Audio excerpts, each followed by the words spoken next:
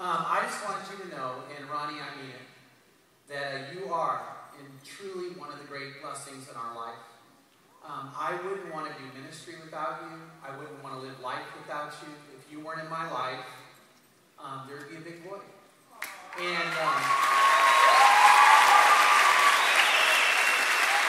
and I want you to know that, when you asked me wedding with you and Natalia, I was so honored because I love you guys so much. I love your marriage.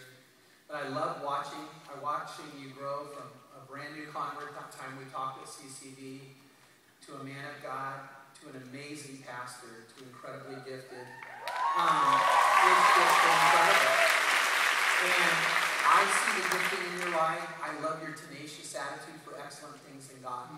And so I know that we're only watching the beginning of how God's going to keep using you, but I love that I get to be a part of it. And I really do. I treasure now, I don't want to take away from everything I just said. I want you to know how much I meant it, but I want to say something that I really believe that God made you, Ronny, to light up the